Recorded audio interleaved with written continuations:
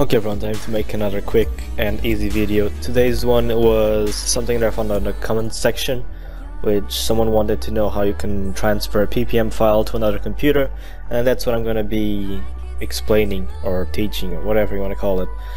The files I'm talking about that are these ones, the one that yeah loads this.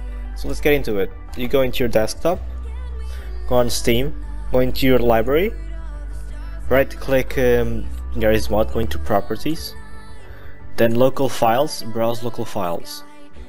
Now you go into Garry's Mod, and then data, yeah, data, and you gotta find where is ppm, no, yeah, wait, this, you gotta find ppm, and there you go.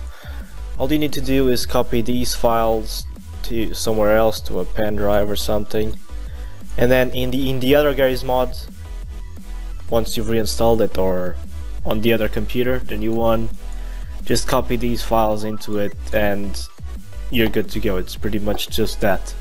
Thank you for watching and see ya!